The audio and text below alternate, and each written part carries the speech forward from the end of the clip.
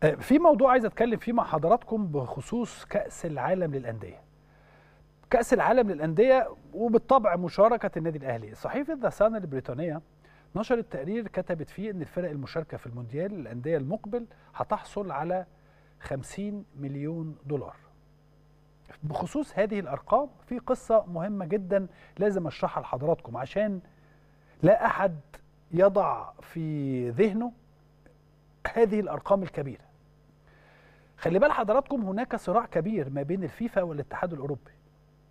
والقصة باختصار أن هناك تنافس مالي واقتصادي كبير ما بين الفيفا واليويفا مع بين الفيفا والاتحاد الأوروبي أو الاتحاد الدولي لكرة القدم والاتحاد الأوروبي. كمان في الطرف الجديد الأندية اللي دعت لتأسيس السوبر ليج. التنافس ما بين الفيفا واليويفا هو الأساس في التحركات الحالية من الفيفا بخصوص كأس العالم للأندية يعني إيه؟ يعني عندما تنظر في الأرقام أو في الميزانيات اللي, اللي موجودة في الفيفا فدائما تجد أن الاتحاد الأوروبي لكرة القدم يتفوق على الفيفا في يعني لو بصينا على الميزانية في الأربع سنين اللي فاتوا تجد أن الاتحاد الأوروبي يتفوق على الاتحاد الدولي في ثلاث سنوات أما في السنة الرابعة اللي هي سنة كأس العالم. سنة كأس العالم دائما الاتحاد الدولي لكرة القدم يتفوق على الاتحاد الأوروبي. ومن هنا فكر إنفنتينو إنه يعمل بطولة كأس العالم ولكن للأندية. لأنه تخيل حضرتك أرباح كأس العالم في قطر اللي كان في قطر آخر كأس عالم في 22 وصل تقريبا ل 6 مليار و200 مليون دولار. وده بزيادة تقريبا 17% عن كأس العالم الأخير أو اللي قبله اللي كان في روسيا 2018 ساعتها الفيفا وصل له 5 مليار و300 مليون دولار. طيب مونديال البرازيل اللي قبله. أرباح الفيفا كانت 4 مليار 4 مليار و800 ألف دولار. وقبلها كان 4 مليار و200 ألف دولار في جنوب أفريقيا وهكذا. وبالتالي هذا التنافس ما بين الاتحاد الدولي لكرة القدم وما بين الاتحاد الأوروبي لكرة القدم هو اللي خلى إنفنتينو يفكر في هذا الأمر. طيب الفيفا متوقع في كأس العالم 2026 اللي هو كأس العالم للمنتخبات كأس العالم الكبير يعني. متوقع يخش له كام؟ إحنا لسه قايلين من شوية 6 مليار وشوية صح؟ على 2022 طب 2026 متوقع 11 مليار دولار أرباح الفيفا وهو ده اللي الفيفا بيدور عليه في هذا التوقيت. كيف يضاعف من عوائده؟ لذلك كان هناك تفكير في إن أنا هو إيه أكتر حاجة بتكسبني؟ هو كأس العالم للمنتخبات. طيب أنا هعمل كأس العالم للأندية اللي هو إيه؟ اللي هو ب 32 نادي ده الجديد اللي الأهلي هيشترك فيه في 2025 في أمريكا.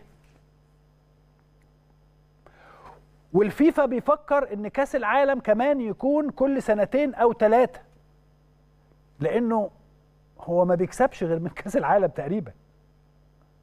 وفي نفس الوقت صراع الفيفا مع اليويفا مع الأندية اللي هي الأندية اللي عايزة تعمل يعني السوبر ليج في أوروبا اليويفا بياخد خطوات تسويقية و...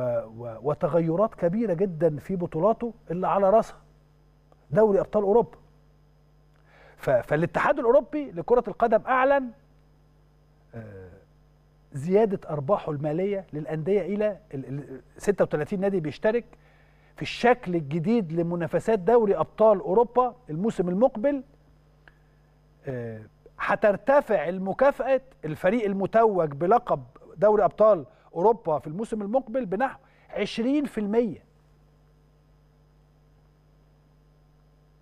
طيب الفرق المتأهلة من ال 36 الفرقة المتأهلين لمرحلة الدوري العادية اللي هي المرحلة الأولى اللي بنشوفها لأنه بداية من الموسم القادم النظام هيتغير في هيبقى نظام آخر. كل فرقة هتحصل على مبلغ ثابت قدره 18 مليون يورو و62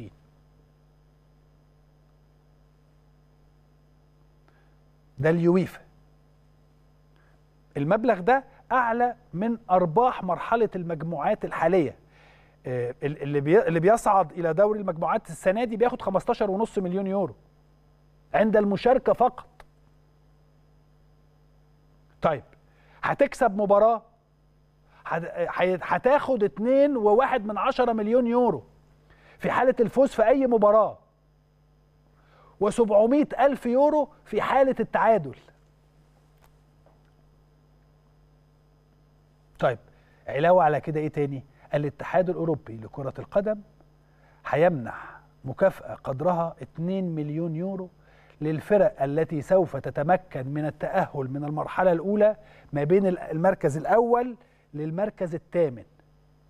والانتقال المباشر إلى مرحلة خروج المغلوب إلى دور ال 16 أما اللي وصلت بقى من التاسع إلى آه، ال 16 هتحصل على جوائز آه، إضافية قدرها مليون يورو. طيب ده معنى إيه؟ الكلام بس عشان ما أشغلش دماغ حضراتكم بكل هذه الأرقام.